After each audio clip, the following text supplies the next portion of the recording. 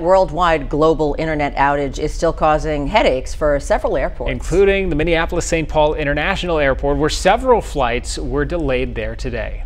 Now you can see here the crowds gathering at MSP. One traveler that is trying to get back to Rhinelander has been put through the wringer.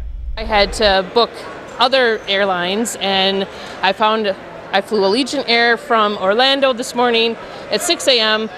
to Syracuse, New York. From Syracuse, New York, I flew Sun Country to Minneapolis, and now hopefully I get on Delta and go to Rhinelander, but they've delayed that an hour now too.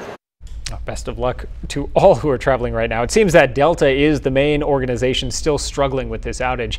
Delta passengers have been slammed by more than 4,400 cancellations since Friday, including more than 850 today alone.